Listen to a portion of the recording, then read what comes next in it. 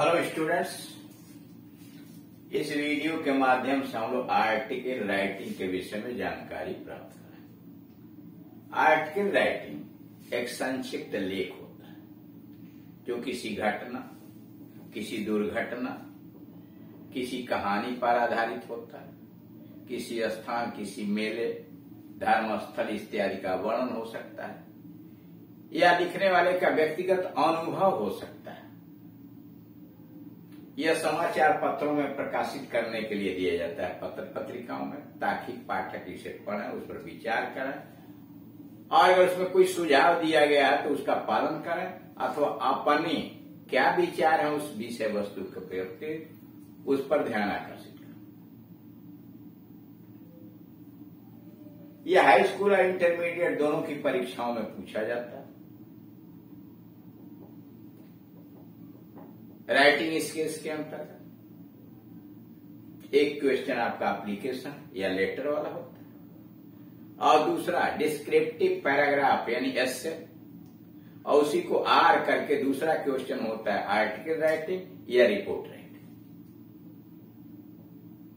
High school में ये छह अंकों का होता है इंटरमीडिएट में अब दस अंकों का होता है। इसलिए अंकों के दृष्टिकोण से भी ये काफ़ी महत्व है और यह तभी आर्टिकल आप अच्छा लिख सकते हैं, भावपूर्ण लिख सकते हैं आकर्षित लिख सकते हैं, जब आप अधिक से अधिक एक्सरसाइज को करें, उसे पढ़ें और समझें। या उसी के विषय में यहाँ एक्सरसाइज दिया गया है। उसे पहले करते क्या है? जो क्वेश्चन दिया गया है। जिस विषय वस्तु पर हमें लिखना है, उसे ध्यान से पढ़ के और तब बैठाते हैं दिमाग में कि वो स्रोत कौन कौन से स्रोत हैं कहाँ कहाँ से उसके विषय में सूचनाएँ इकट्ठे करें। और उस सूचनाओं में क्रमबद्ध तरीके से हम उसका वर्णन करते हैं। जैसे यहाँ दिया वाटर इज़ प्रीसियस पानी कीमती है। राइट एन आर्टिकल एक लेख लिखिए। कीपिंग इन व्यू दृष्टिकोण बनाए हुए एक लेख लिखिए। The need for saving each drop of water कि पानी की एक एक बूंद बचाई जाए, यह दृष्टिकोण में रखते हुए आप एक आर्टिकल लिखिए। मतलब आपसे कह रहा, उसको बढ़ा के भी लिख सकता है, संकेत आपको दे सकता है। सीधी सी बात है कि पानी एक आवश्यक चीज़ है, कीमती चीज़ है। और आप एक लेख लिखिए। अपने मस्तिष्क में यह दृष्टिकोण बनाए हुए कि पानी की एक एक बूंद को बचाना आज की ज़रूरत है, बहुत आवश्यक ऐसो में सबसे पहले एक संक्षिप्त छोटा सा आकर्षक हेडिंग बनाते हैं। टाइटल जैसे the need for saving water the need for saving water उसके बाद आर्टिकल लिखना शुरू करते हैं। Water is a free gift आपने क्या? पानी जो है प्रकृति का एक मुफ़्त का उपहार है। Water is free gift of nature प्रकृति का पानी एक मुफ़्त का उपहार है। But it is the most precious thing है तो यह मुफ़्त का, लेकिन बहुत अधिक, सबसे अधिक कीमती चीज़ है for life on this earth लेकिन इस धरती पर जीवन के लिए बहुत ही कीमती वस्तु पानी है।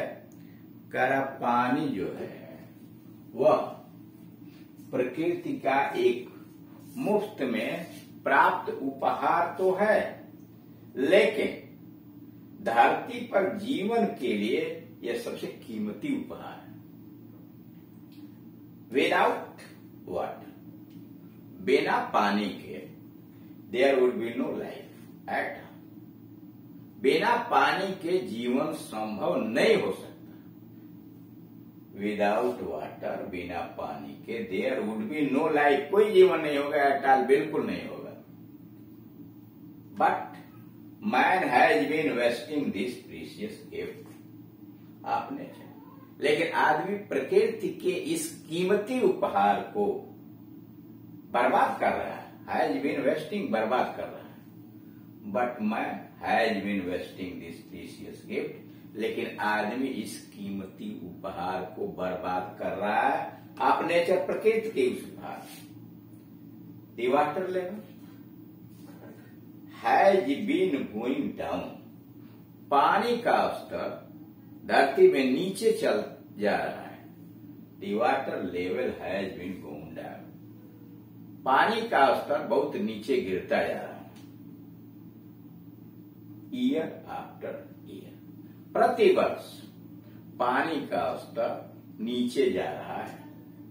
Is a very dangerous sign और यह बहुत खतरनाक चिन्ह है, लक्षण है।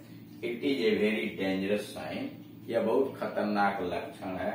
एंड ए बिग वार्निंग बड़ी भारी चेतावनी भी है। पर मैं यह बहुत खतरनाक चीज़ है, चिन्ह है, लक्षण है। और it is a big warning for mankind और मानव जाति के लिए यह बहुत बड़ी चेतावनी भी है। Some scientist even go to the extent of say some scientist कुछ वैज्ञानिक even go to the extent इस सीमा तक जाते हैं। आप से इस कहावत, कुछ वैज्ञानिक तो इस सीमा तक कह देते हैं that the third world war तीसरा विश्व युद्ध। कुछ वैज्ञानिक तो इस हद तक कह देते हैं एक्सटेंट इस सीमा, इस हद तक कहते हैं कि तीसरा विश्व युद्ध थर्ड वर्ल्ड वार तीसरा विश्व युद्ध विल बी फाट लड़ा जाएगा।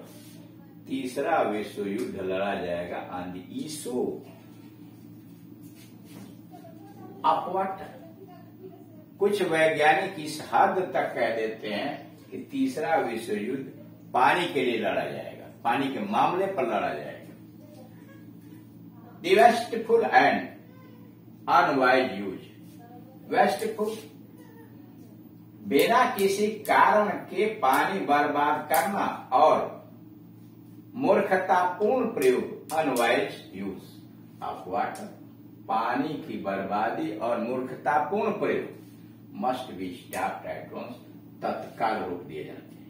यानी पानी का मूर्खतापूर्ण तरीके से प्रयोग और साथ ही साथ उसका बर्बादी तत्काल रोक दिया जाना चाहिए। इट इज़ आवर मॉरल यह हमारा नैतिक कर्तव्य है।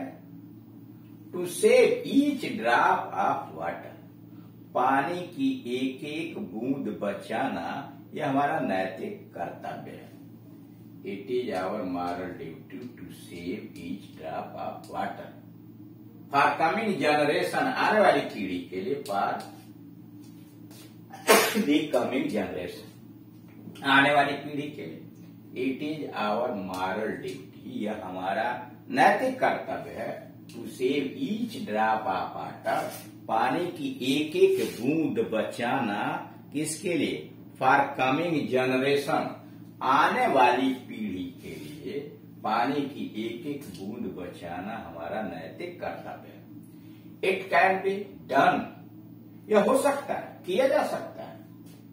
इट कैन बी डन यह किया जा सकता है बाई हार्वेस्टिंग इकट्ठा करके हार्वेस्टिंग इकट्ठा करके द रेन वाटर अब पानी की एक एक बूंद, वर्षा के पानी को इकट्ठा करके बचाया जा सकता है rain water and by using improved method और परिष्कृत तरीका अपना के आप इरिगेशन सिंचाई के नए नए और सुधरे हुए तरीके, प्रयोग करके पानी की बूंद बचाई जा सकती है। It can be done by harvesting rain water और इसे किया जा सकता, पानी की को बचाया जा सकता है कैसे?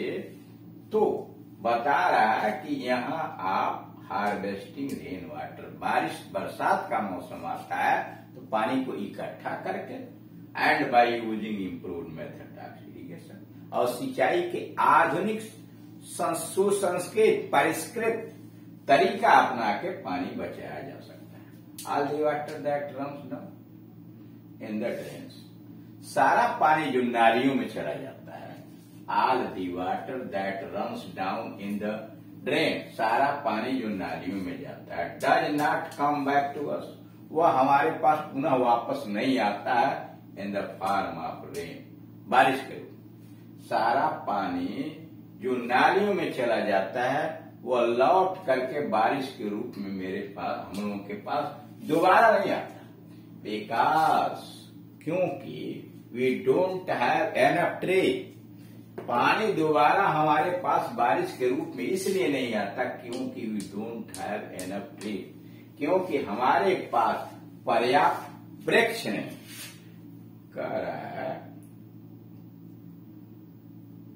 all the water that runs.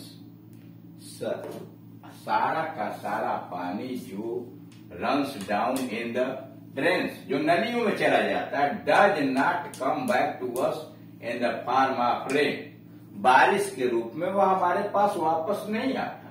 Because we don't have enough tree क्योंकि हमारे पास पर्याप्त मात्रा में वृक्ष नहीं है। In the absence of vegetation वनस्पति हरियाली।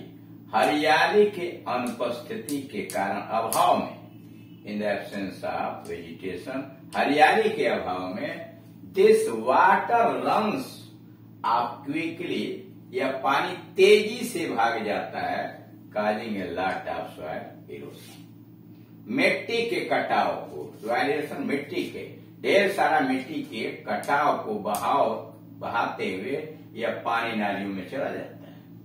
In the absence of vegetation वनस्पतियों के अभाव में हरियाली के अभाव में वृक्षों के अभाव में this water runs off quickly बड़ी तेज़ी के साथ पानी बहता है causing a lot of soil और साथ ही साथ ढेर सारी मिट्टी के कटाव को भी बनाता है so the only wise thing for us इसलिए हमारे लिए सबसे बुद्धिमत्तापूर्ण कार्य यही है is the wise use of water कि हम पानी का बुद्धिमत्ता पूर्ण तरीके से प्रयोग करें। So the only wise thing सबसे बुद्धिमत्तापूर्ण बात यह है, फारस हमारे के लिए is the wise use of water कि हम पानी का बुद्धिमत्ता पूर्वक प्रयोग करें। तो इस तरह से सबसे पहले दिए गए क्वेश्चन को बारीकी से पढ़िए। और विषय वस्तु पर ध्यान दीजिए, फिर उसका एक संक्षिप्त आकर्षक टाइटल लिखिए, और तब उस विषय वस्तु के विषय में सूचनाएँ दिमाग में कलेक्ट करके और क्रमबद्ध तरीके से एक आकर्षक लेख लिखिए, जो पाठकों के मन के अंतर्गत एक प्रभाव डाले। और यह तभी संभव है जब अधिक से अधिक आप अभ्यास करेंगे और उस अभ्यास के माध्यम से सीखने का प्रयास करेंगे।